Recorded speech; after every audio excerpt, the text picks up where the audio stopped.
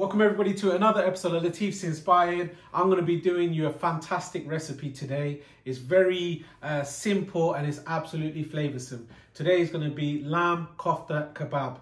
Now I've kept it really simple and easy for you guys to do and I'm going to show you some phenomenal tips to have the most succulent and juicy lamb kebabs. These kofta kebabs are going to be so simple to do but flavoursome.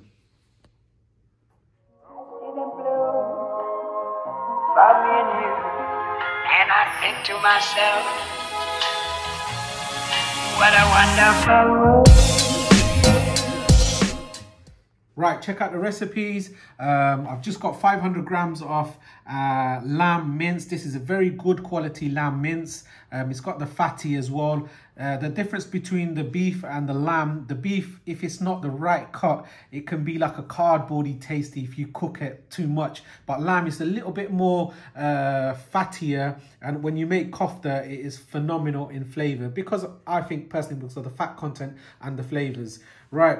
Going to use a bit of oil, neutral oil, um, to fry the uh, kofta. Got green chilies. This is about uh, eight green chilies. We've got some corn flour as we're gonna. It's gonna be a binder as well as the egg. We've got this lovely aniseed fennel seed. This is gonna when you have a little bite. We're not using too much, but that little bit that you'd get is gonna make that flavor just come out. Bit of seasoning for salt. We're gonna add all the spices, obviously. Some lovely chili flakes ginger, garlic, onion, the usual suspects, and some coriander. Right, guys, I've got my glove on today because I've been getting curry fingers.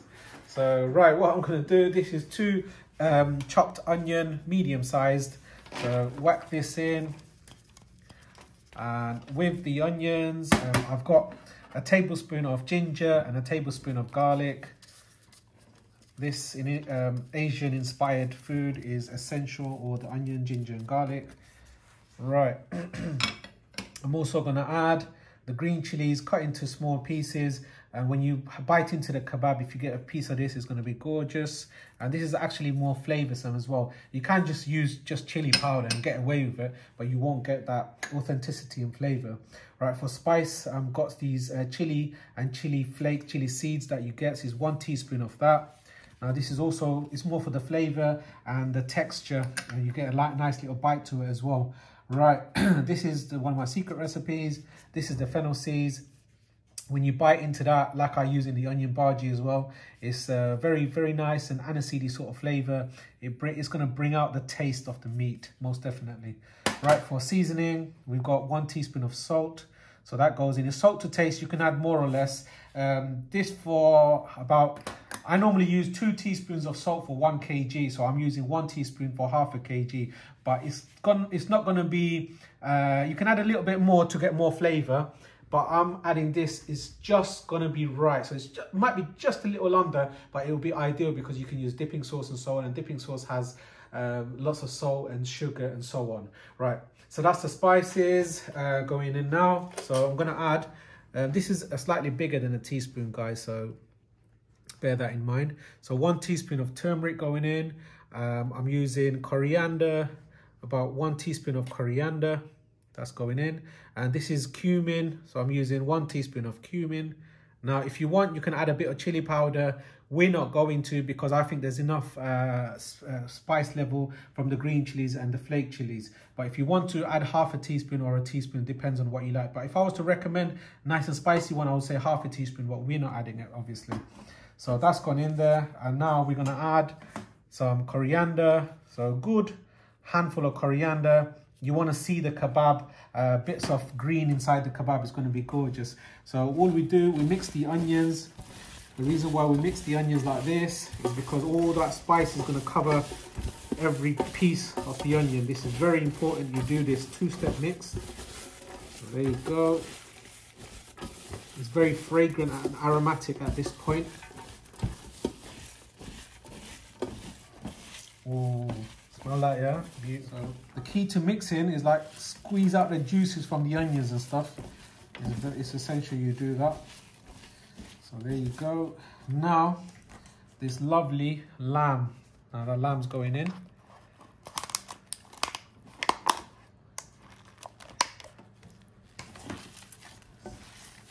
there you go. Mix this up.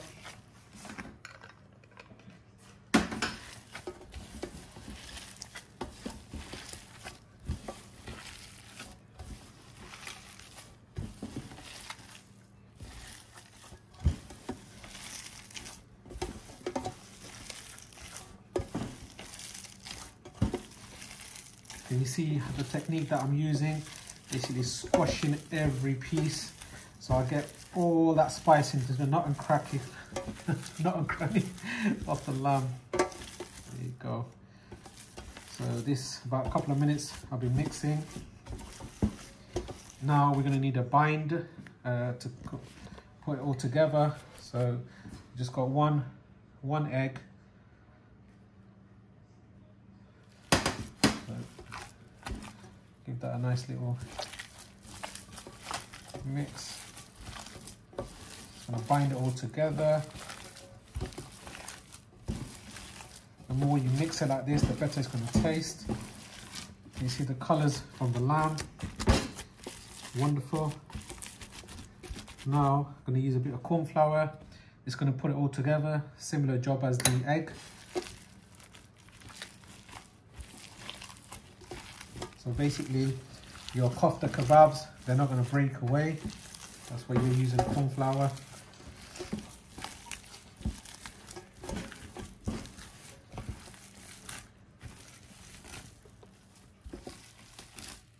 I think I'm gonna need to use my hand to get it a bit more Nothing better than using your actual hand to get all that married up together. Now, when I went to my trip in Morocco, they made some lovely kebabs, but very simple and subtle ingredients they used. But I'm using a little bit more spices for maximum flavor. So check out some of my vlogs when I went to Morocco. Fantastic. And please uh, come onto my Instagram page and I'll do some daily video, daily videos and news and so on, and I'll try to interact with you. So the lamb is ready now, nice and mixed. I mean, look at that, looks wonderful. Every piece of lamb is covered with spices and it's best to leave this for half an hour in the fridge and let all that fat and spices all come together. So that's what we're gonna do and then we're gonna start cooking. So we're waiting for the lamb, and what we're gonna do is just gonna cook some chicken for the guys behind the scenes.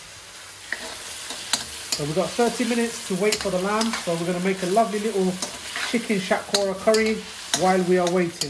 Nice and hot. Add the onions and the garam masala, so the panch phoron, peppercorn. Uh, we've got some cardamom and we've got some cinnamon, the dalchini. Everything's going in. Garlic. It's a quick little dish that we're doing while we are waiting for the kofta. All this chicken curry is coming out wonderful. Loads of masala gone in. Look at these lovely cherry tomatoes. Gonna be popping in our plates, yeah? Lovely jubbly. Now, gonna add the chicken in shortly. And the curry is just about done nearly. Sauce is ready. Chicken's going in. Wonderful.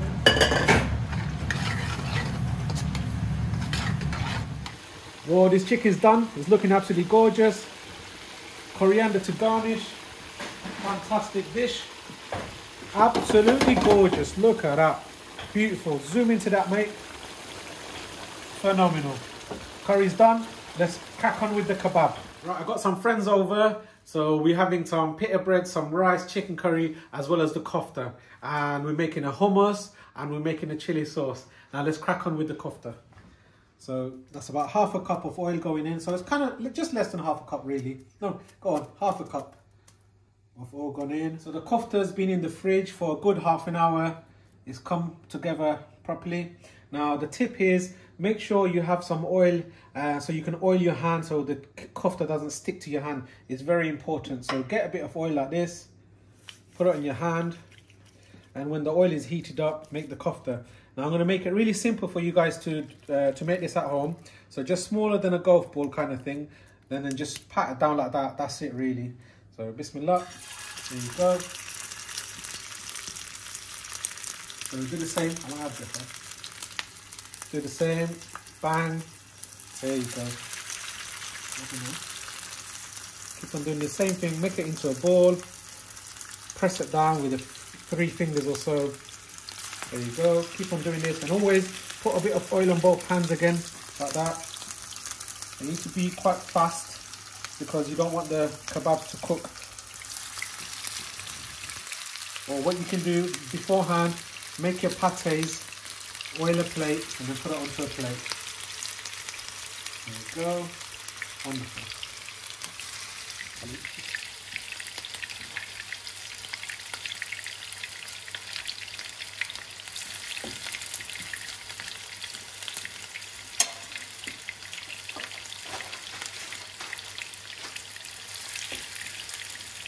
Guys, when you're doing this at home, make sure you have a medium gas on.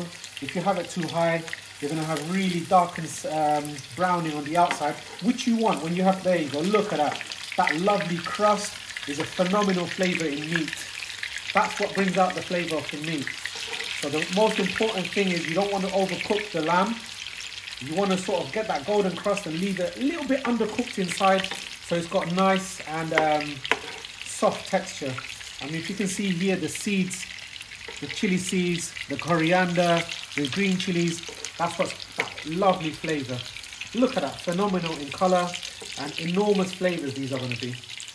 Now, Reds, if you show this, look over here. I'm just making a few more while I've got a flipper friend flipping these kebabs, uh, which we're going to enjoy. Just make a few more and get ready for the next batch. And if you've got a really good, keen uh, chef with you, you can keep on doing this and somebody can keep on flipping it. Oh, wonderful. There you go.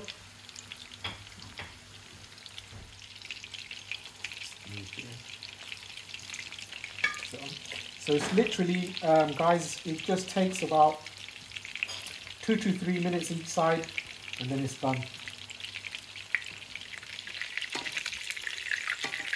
Yeah, so when you've got browning on both sides, you just drop it to the other side, please.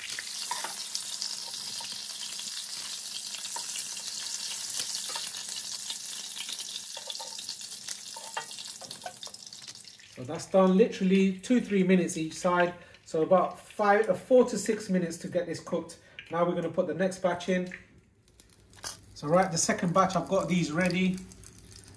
Nice and simple. Look at the wonderful colors. They go in.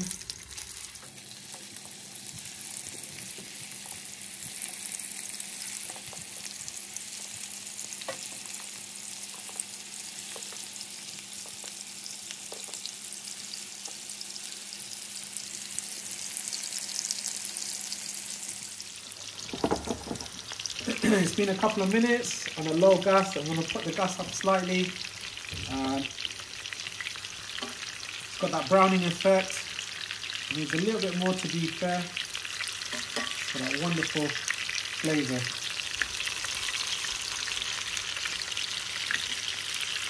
There you go, this one's phenomenal, there we go.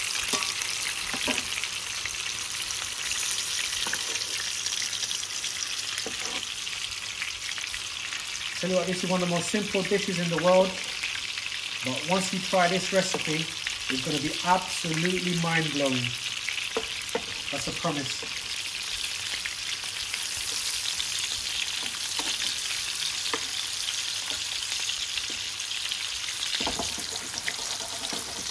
So two, three minutes on this side, and it'll be done. In Two, two, two and a half minutes. This side's done. Here we go. Wonderful. Like I said, you might you might as well have it a little bit undercooked rather than overcooked. Then it becomes dry and cardboard-like taste, which we want to avoid.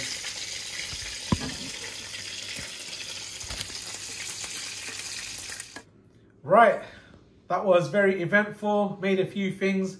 Um, so let's give it a taste. I mean, look at these kebabs. I mean, if you're a meat eater, when you look at this, that should get your mouth the tap of the saliva should be coming on. So basically, mouth watering. So, right, so we've got some olives with a bit of feta cheese. This is store-bought, to be fair with you. This is our lovely dipping sauce. Tamarind, chili, coriander, garlic, phenomenal spices. This is going to be our own chili sauce. If you want to see this recipe, put it on the comment section and uh, hopefully I'll put it on for you. This is probably the best hummus in the whole wide world. This is how I like it. Cumin inf uh, infused sort of cumin spiced hummus. Very nice, very easy, very simple. Drizzle of olive oil as well. Got some pita bread. And now we're going to give this phenomenal kebabs, lamb kofta, a good taste. Right, let's give this bad boys a taste. Now, it's nice and soft. Oh, there you go. Beautiful. Let's give it a taste. Bismillah. Yep. Look at the juiciness. Zoom in. You see that? this Glistening. That's the fat. This is what gives it the flavour. Get a bit of hummus.